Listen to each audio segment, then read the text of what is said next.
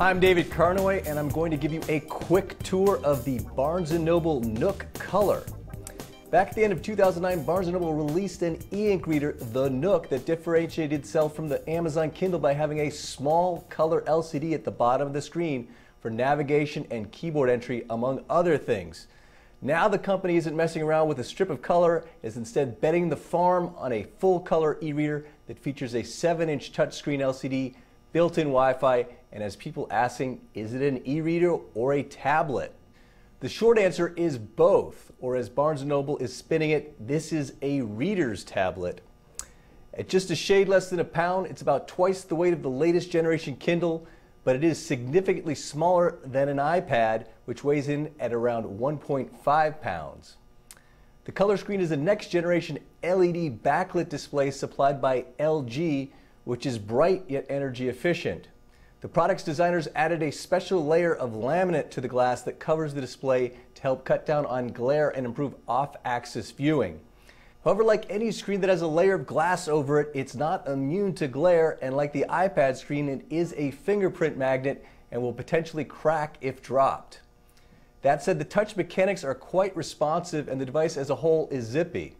For those who are hoping for a full-fledged Android tablet, you get such features as web browsing and multimedia functionality along with a little Pandora and some basic games and the ability to read formats such as Microsoft Office documents and PDF files. But one thing missing is Android Marketplace. Yes, more apps are on the way, but Barnes & Noble is really gearing this toward readers first and those looking for a multifunction device like the iPad second. We were generally impressed with how elegant the user interface is and how easy the Nook Color is to operate and navigate. We also like that the designers included a physical home button. It's the N at the bottom of the device rather than a virtual one.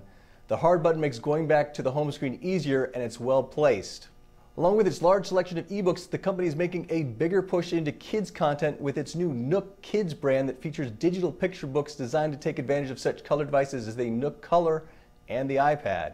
At the same time, the company is highlighting how well the Nook Color handles periodical content, particularly magazines.